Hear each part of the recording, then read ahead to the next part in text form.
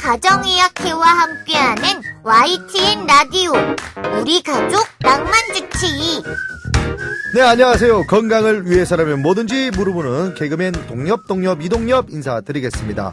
오늘의 낭만 주치 한양대 명지병원 가정의학과 신현영 교수님과 함께 하겠습니다. 교수님, 안녕하세요. 안녕하세요. 근데 교수님, 제가 한 20대 정도만 돼도요. 예. 아름다운 여성분 앞에만 서도 심장이 막 쿵쾅쿵쾅쿵쾅 막 뛰고 그랬었거든요. 예. 근데 지금 뭐 제 나이에서는 이제 심장이 빨리 뛸 일도 없고 음. 혹시라도 빨리 뛰면 이거 부정맥 아니야 이런 걱정부터 음. 들던데 부정맥은 도대체 어떤 질환입니까? 그 전에 아름다운 사모님을 두셔서 이제 눈이 높아지셨군요. 왜요 왜요?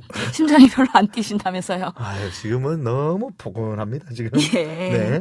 부정맥이라는 거는요, 우리가 심방, 심실 이라는 심장 구조가 있잖아요. 그렇죠. 여기에 전기의 흐름에 의해서 쿵딱 쿵딱 규칙적으로 심장이 뛰어야 되는데 이 정기적 신호에 문제가 생기면서 불규칙적으로 심장이 뛰는 거죠. 아 그렇군요. 그러면 어떤 사람은 커피만 마셔도 심장이 빨리 뛴다 하는 분이 있던데 이것도 예. 부정맥입니까? 대부분의 부정맥은요, 특정 원인이 없어도 증상이 발생할 수가 있거든요. 하지만 커피나 술, 담배에 의해서 악화되는 부정맥도 있기 때문에요. 네. 이런 것들이 심하거나 흉통이나 호흡곤란 증상을 동반 한다고 하면은 네. 검사를 해볼 필요가 있습니다. 아 근데 또 듣기로 이게 예. 그 햄버거 집에 나오는 그겁니까? 빈맥? 빅맥과 빈맥, 기억과 니은 받침을 잘 구분하셔야 되겠는데요. 네네.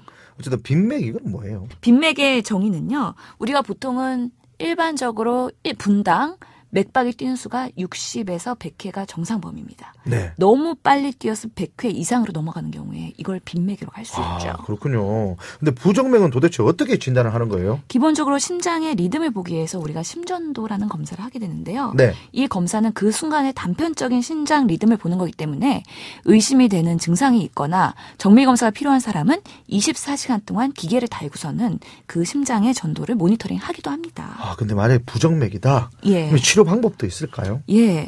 부정맥의 종류도 워낙에 다양하거든요. 네. 일부의 부정맥은 증상이 없이 약물 치료가 필요 없는 부정맥도 있습니다. 하지만 합병증을 방지하기 위해서 항부정맥제 약물을 복용해야 되는 경우나요. 네. 아니면 이런 전기의 리듬을 방해하는 요소가 있다 그러면 시술을 받아야 될 수도 있고요. 네. 부정맥의 발생을 차단해야 되는 경우도 있습니다. 네, 이렇게 해서 오늘도 궁금증 하나가 해결이 됐습니다. 한양대 명지병원 신현영 교수님과 함께 했습니다. 자세한 사항은 의사 선생님들과 상담하셔야 된다는 점 꼭 기억해 주세요. 우리 동네 주치 우리 가족 지킴이 YTN 라디오 우리 가족 낭만 주치. 내일 이 시간 다시 만나요